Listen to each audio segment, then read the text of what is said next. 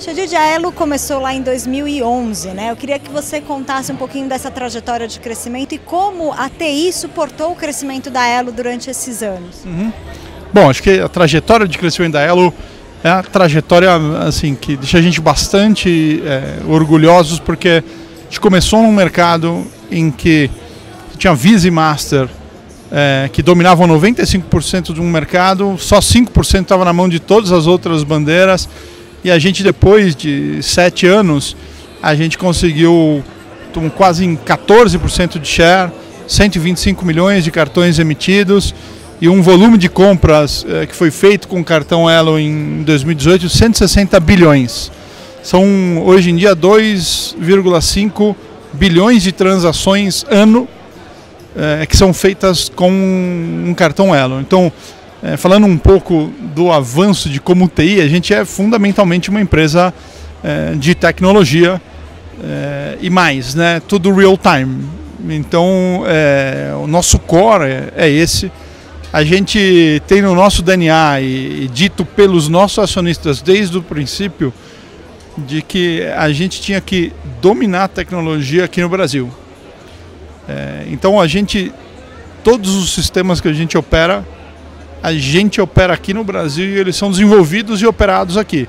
Então, eu falei, a gente começou com um sistema, sistema simples, e há três anos a gente decidiu é, virar para um novo sistema que a gente desenvolveu do zero. É, e a gente mudou esse sistema em julho de 2017, quando a gente já tinha é, proximamente 1 bilhão e 800 milhões de transações, tudo real time. Então, para nós TI é, é, um é um enabler, mas é quase que o sangue para a gente. E a gente tem esse, esse orgulho de fazer as coisas localmente aqui e operar localmente.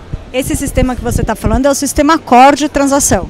Esse é o sistema core de transação, mas a gente opera outros sistemas satélites que a gente faz aqui no Brasil. Então, para a gente desenvolver uma plataforma de, para desenvolvedores com as nossas APIs, a gente desenvolve aqui, dá suporte aqui, porque a gente sempre pensa no desenvolvedor aqui no Brasil, é, o quanto ele sofre com é, manual técnico mal feito e mal traduzido.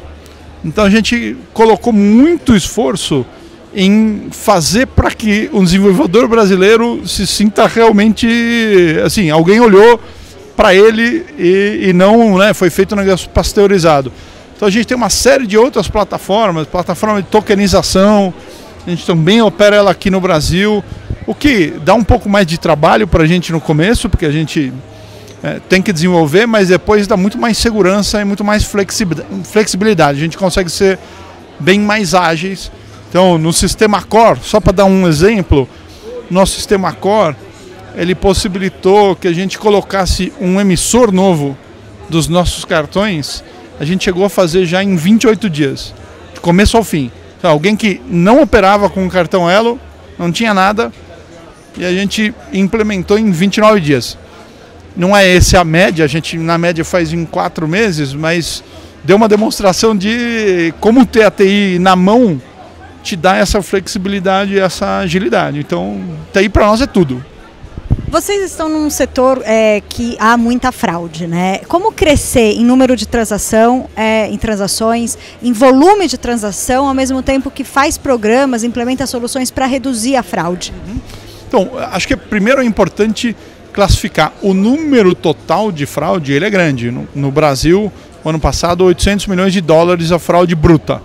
Mas quando a gente coloca, é, só para contextualizar, isso é menos de 0,2% do total transacionado. Então, ele é grande porque, como o total transacionado no Brasil é muito grande em cartão, o número nominal é grande, mas ele é assim um patamar é, bastante bom pensando globalmente.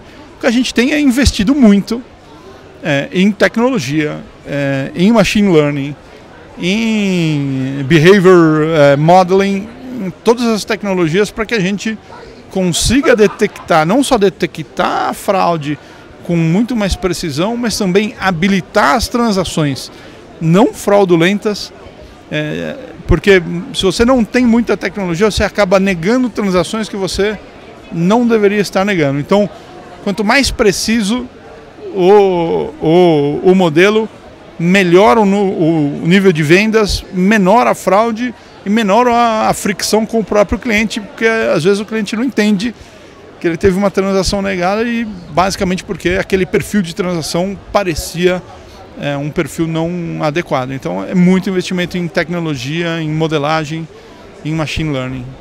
Você falou em machine learning e inteligência artificial. Como o uso e a adoção desse tipo de tecnologia vai mudar a, essa análise né, do, do risco, do crédito, de que a transação é verídica, de ter um falso positivo?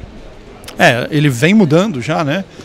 É, os sistemas estão cada vez mais é, absurdamente completos, né? O número de variáveis que estão sendo analisadas é, no no momento da transação, porque a gente faz essa escoragem no momento em que o cliente está transacionando. E aquilo ali, então, você tá, a gente está falando aqui de um número de variáveis é, boçal sendo analisadas e que te determinam um score de risco daquela transação a cada transação. Então, é, os modelos estão cada vez mais adaptativos, eles lidam com mais variáveis e acho que o mundo de tecnologia, o simples fato, é, eu citei, a gente está com um SDK agora que você coloca no celular e que ele te dá mais 150 informações adicionais naquela transação para que você possa analisar. Então, é, acho que tá, esse negócio está assim, tá evoluindo exponencialmente e sem machine learning, sem inteligência artificial,